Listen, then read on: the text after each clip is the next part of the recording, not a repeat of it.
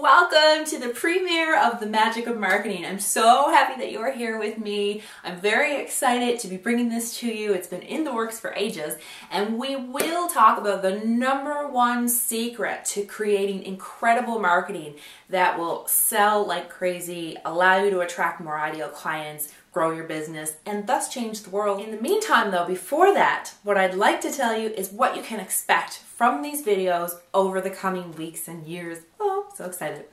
Um, we're going to be talking about everything you need to know to grow your business, and that includes not just the marketing, the branding, the systems, the mindset, but also some of the life stuff because as entrepreneurs, we're still people, right?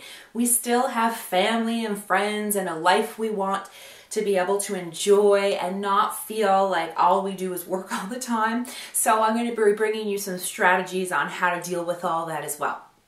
So if you have any topics that you would like answers to, any questions that, that's out there that you just can't seem to figure out for whatever reason, send it in and we'll answer it on an episode of The Magic of Marketing. Now, in the meantime, let's get back to the question. So, what is the number one thing that you can do that'll completely change your marketing and totally increase it to help you attracting your ideal clients, making more sales, and changing the world? Well, it's a simple answer, and the answer is to be you. I know what you're thinking. What do you mean I am me? Hear me out. One of the things that I've noticed in working with a lot of entrepreneurs over the years especially when they're in the beginning stages of growing their business, is that they're not always comfortable being completely who they are because maybe they feel like if they put themselves out there, that they won't be accepted. And a lot of people are out doing things because they think other people want them to be that way, particularly thinking what their ideal clients might want or need. But the truth is, Business, in this business particularly, but business in general, is a lot like dating. So let me ask you a question. Have you ever went on some dates with someone who in the beginning was amazing? They opened doors and paid for dinner and they were nice to your family and after a couple of months of dating, maybe you started to see some of their true colors and they weren't exactly what you thought they were? Has that ever happened to you? Well, if it has, you know exactly what I'm talking about. Well, in that example, you're clearly probably not going to date that person anymore. And the same thing's going to happen if you keep trying to be something you're not in your business. Because as you attract some clients, they're going to figure it out after working with you for a while. And that's not good for business and it's not what you want. You want to put your best foot forward, and that is to be you no matter where you are in your life and in your business. So I want you to ask yourself two questions. One, who am I? Powerful question.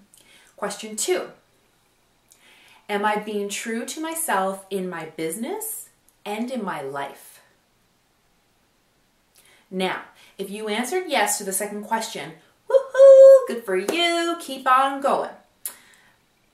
But I'll also challenge you to go back and take a second look just in case there might be some tweaks.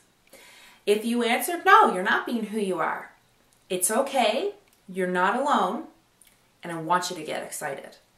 Because now you have the opportunity to clean the slate, to say no more, I want to grow the business I want to grow, I'm going to be who I am and add value the way I want to add value.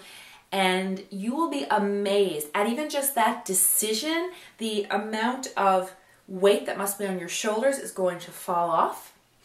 And you are going to be able to gain some clarity, which is you clarity is so powerful. So it's going to allow you to make better decisions and immediately you'll find that you'll start attracting more great opportunities and work will become more enjoyable because there's nothing worse than going to work and not loving it or not being who you are. And that's not why you're in business. You want to be in business because you want to have fun and you want to change lives. So let's get to doing that. I'm so excited. It's our first episode and it's such a good one. I learned this lesson the hard way, by the way, so I can I can shout this from the rooftops for sure.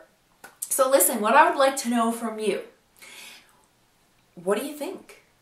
Do you agree? Do you not agree? Do you think I'm totally out to lunch? Did you, have an aha? Do you, do you feel like, yeah, there's something that's going to change for me now? leave your comment below. Make sure you like this and share it in the communities. We want to grow this to be super big. There's going to be so many great things coming up. Um, but really, it's really fun to be able to watch and learn from other people and hear other people's stories so that you know you're not alone because you're not. This is these are common struggles entrepreneurs go through all the time. Sometimes we forget that because a lot of times we're working from home and it's just us and we may not have a huge network yet or what have you. And so or sometimes you might just not talk about this stuff, but I want you to know that there are other people going through it and we'll know that by everybody commenting. So make sure you comment, share. Thanks so much for being here. And when after the video, make sure you go on over to jennifer-trask.com and sign up for free email updates because there's lots of fun that happens after the show on email.